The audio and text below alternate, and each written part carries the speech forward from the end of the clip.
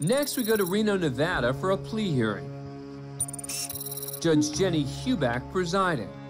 Uh, let's start with Thomas Lewis. I understand he has several cases. He, he does, Your Honor.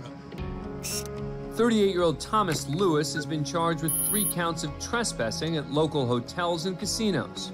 He also has a number of other pending charges, including jaywalking and possession of drug paraphernalia. Yes, Your Honor. I have addiction problem. Okay, well, let your attorney talk for you, okay? Lewis is represented by attorney Roberto Puentes.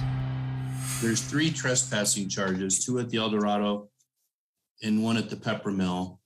He's going to be entering no contest pleas to those three cases. He also has a 30 day suspended sentence, and then the remaining four cases jaywalking, paraphernalia, open container, and lying on a sidewalk are all going to be dismissed pursuant to negotiations. All correct, Judge. Jill Drake is representing the state. You want me to answer anything, or can I say something, Your Honor? Not, not yet, not yet. Okay, All right. All right. After locating the case numbers, the judge just needs Lewis to enter his plea, making it official. Um, how do you plead to three counts of trespassing? Okay, I guess. I, I can I can I clarify though? Uh, I get that. Like, 'cause I, I lived on the mid, in the Midwest. There's not as much trespassing over there in certain things. Um, Sir, just I've, answer tri- the I've tried to check into like Sir, stop. Judge Huback wants Lewis to stop discussing the facts of the case and enter his plea, since anything he says here today can be used against him in future proceedings. But he's not listening. you want my ex- my reason, or you no, just want to sing to me. And when the judge refuses to hear him out, Lewis loses it. Sir, Fucking stop guilty. Give me 20. Give me 20. What does it matter if you already have your mind made up?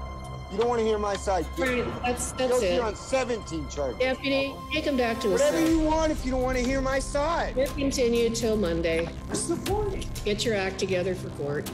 Don't ask. Sorry, guys. Your Honor. That did not go very well. My apologies. Lewis ultimately pled guilty to all of his trespassing charges and was sentenced to one year in jail. His other cases on today's docket were dismissed. Thanks for being a fan of CourtCam. Subscribe to A&E to never miss a new video and catch full episodes on aetv.com.